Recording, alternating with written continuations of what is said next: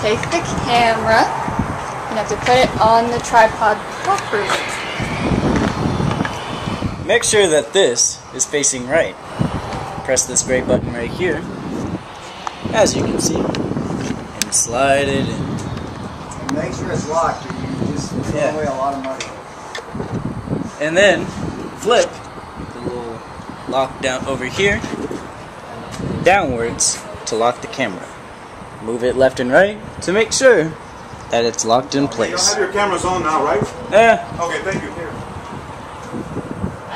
Now, on to the power source. Uh, Show exactly where you plug it all up.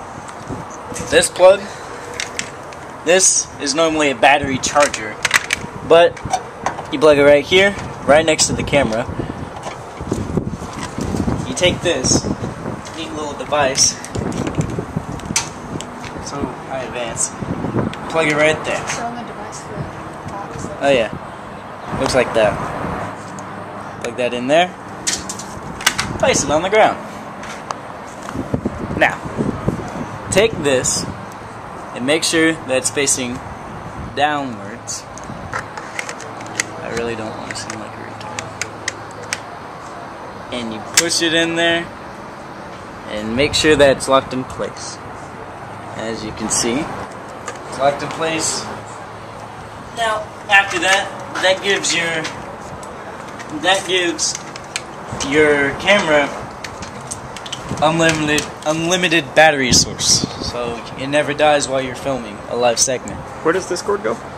This cord comes. It, this cord's gonna usually sit in this little box here, and um, Plug it into that if it is not.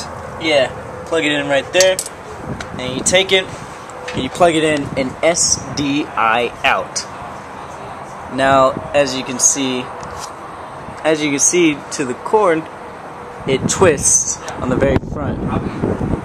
Twist it to where it's parallel with the bars, and then twist it to the right to lock it. Simple, easy. Now, this isn't.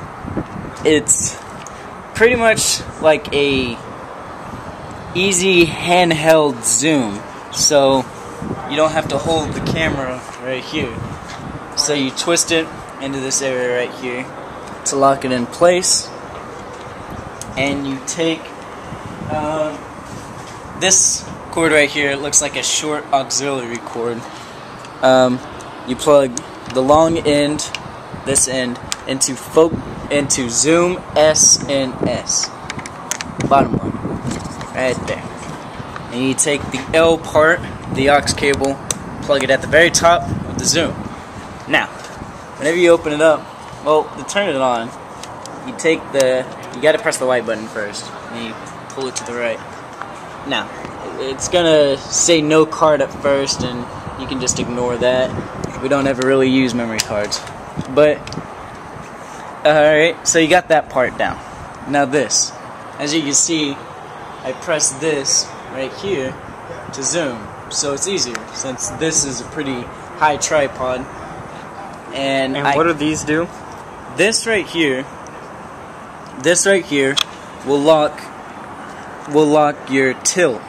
So if you pull it towards you, it locks it so you can't move the camera up and down, but you can move it left and right. Now if you push it away from you, you can move it up and down and left and right. This one locks. And this one The will lock your right. pan. So if you lock it, the camera can't move left or right, but it can move up and down. If you lock both, then the camera will stay completely stationary in one direct spot. So you can't move it left or right, up or down. And now you're free if you leave them away. Uh, say you're just going for get a drink of water or something, you just want to keep your camera on the 50, lock both, walk away.